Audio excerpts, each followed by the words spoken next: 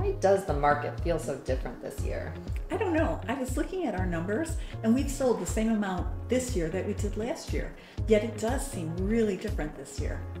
Yeah, we've sold and closed on 13 homes. We have four under contract and four sellers getting ready to hit the market. Not to mention all the buyers we have. I know it's really busy. Thank goodness. I know.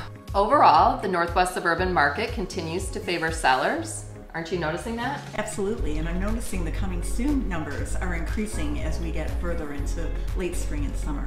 Single family homes are up 9% over last year, and condos and other attached homes 14%. Yet buyers want to purchase even with the higher rates, yet inventory remains low, so we've had to get creative. I know, remember when you went to that estate sale? That's right, that house was in the private, but they weren't showing it yet. But they did mention there was an estate sale. So I called our buyers and said, let's take a look at the house during the estate sale. We did, they loved it, we wrote an offer, and we got the house.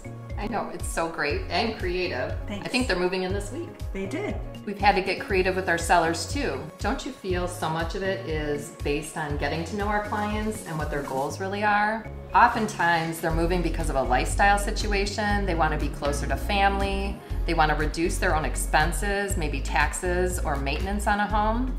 Those are really the important factors, and we can help guide them once we understand that. And you know, the decision really shouldn't just come down to the potential sales price. Remember Marie and Mike? They wanted to downsize, but they weren't sure if they wanted to go into a condo, into a smaller home, or even move out of state.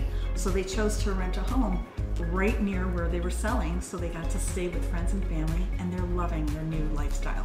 That was a creative idea. We hadn't thought of at the beginning, but right. we're able to offer that as an option. And it worked out for them. They came out ahead financially.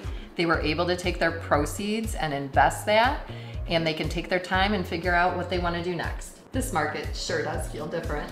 It is different. And you know why? Why? Cicadas. Oh, yeah. Let's go show some homes.